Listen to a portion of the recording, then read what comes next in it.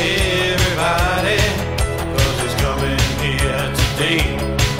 He's man who stands for freedom the American way. He values life and liberty.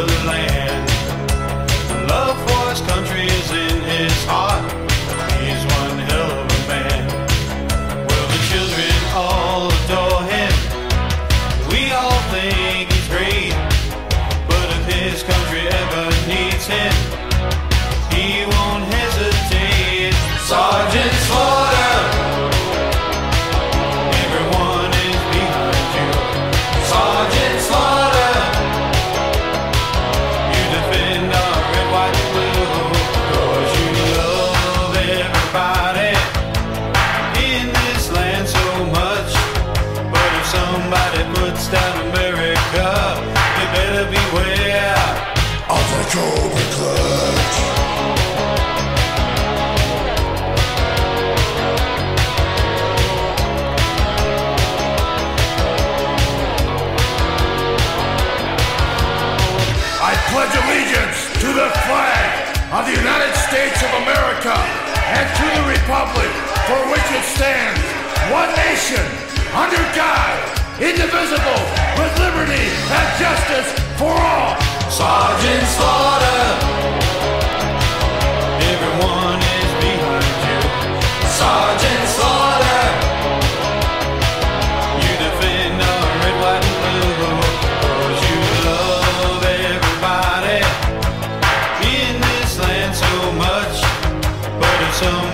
Down America, they better beware of the Cobra Clutch.